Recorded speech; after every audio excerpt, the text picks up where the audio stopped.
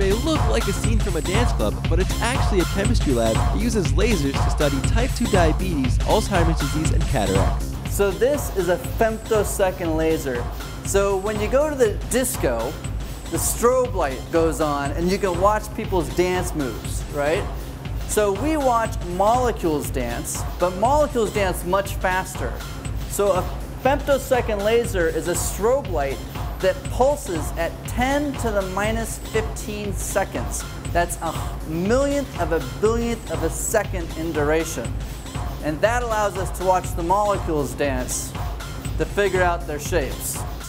So with infrared spectroscopy, we can study these proteins whether they're kinetically evolving. In other words, if they're changing shape with time, which is a common problem with these diseases. Currently, it's really difficult to treat type 2 diabetes. Um, it's something that we tend to try to control more with diet and lifestyle choices.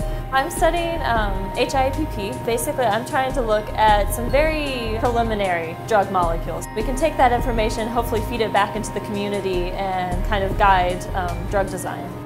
One really exciting thing that's come out of my work is in studying how these drugs interact with the misfolding proteins, we found that the drug actually behaves in almost the complete opposite way that you might expect.